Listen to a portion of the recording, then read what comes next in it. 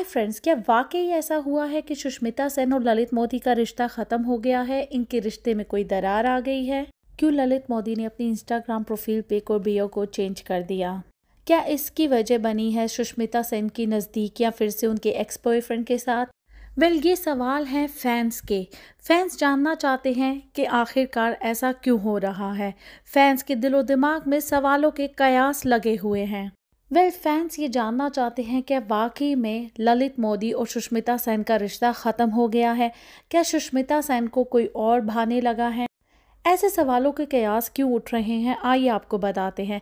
दरअसल, जब ललित मोदी और सुष्मिता सेन का रिश्ता शुरू हुआ था तो ललित मोदी ने अपनी प्रोफ़ाइल पिक सुष्मिता सिंह के साथ लगा ली थी। साथ ही साथ अपनी बायो में सुष्मिता सिंह को अपना क्राइम एंड पार्टनर भी बताया था। जी हाँ अब तक सोशल मीडिया पर बायो और प्रोफ़ाइल पिक के ज़रिए जो प्यार छलक रहा था ललित मोदी का सुष्मिता सिंह के लिए, अब वो नहीं रहा। जी हाँ ललित मोदी ने अपनी डीपी पिक्चर जो सुष्मिता के साथ थी, वो भी चेंज कर कर अपने अकेले की पिक्चर लगा ली है और बायो में ये लिखा है, Indian league premier founder.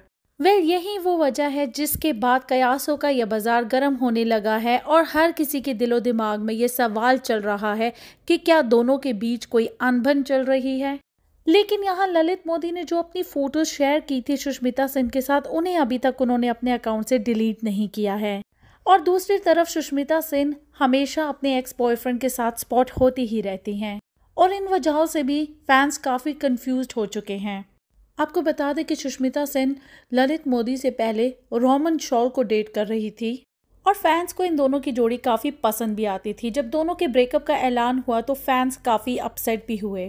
लेकिन ब्रेकअप के बाद भी सुष्मिता और रोमन की काफ़ी अच्छी दोस्ती रही। दोनों काफ़ी साथ में स्पॉट किए जाते हैं। आपको बता दें कि हाल ही में सुष्मिता ने अपनी बेटी का जन्मदिन सेलिब्रेट किया था। वहाँ पर भी रोमन उनके साथ नज़र आए थे।